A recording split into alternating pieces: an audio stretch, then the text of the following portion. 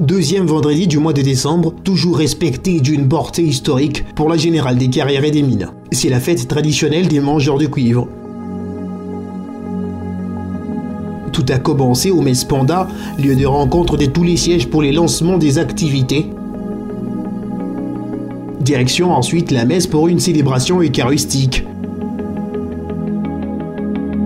Faire l'œuvre de Jean-Baptiste qui a préparé la venue du Seigneur Jésus-Christ et bien les thèmes de l'orateur de cette célébration du haut de la chair qui a exhorté les travailleurs de la GSM à préparer le chemin de la génération future en gérant la chose publique avec foi et raison. Ce dernier s'est appuyé sur les contextes actuels du jeu en minier en RDC pour faire une célébration sous méditation.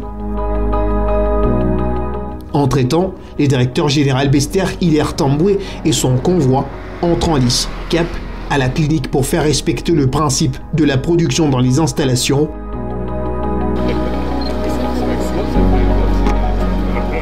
Ici, le pavillon chirurgical a été visité en raison de son peuplement, un accidenté de travail. Une tournée qui confirme la volonté du DG à placer l'homme au centre de ses actions. L'événement Mangeurs de Cuivre est aussi un moment d'hommage et de recueillement au village symbolique des Mangeurs de Cuivre, un lieu initié par les feux Kafitoa Paboa Odilon, qui a sa tombe également au-dessus de cette colline. Le DG Bester Tamoué a déposé les gerbes de fleurs sur les lieux où repose l'initiateur de ces sites.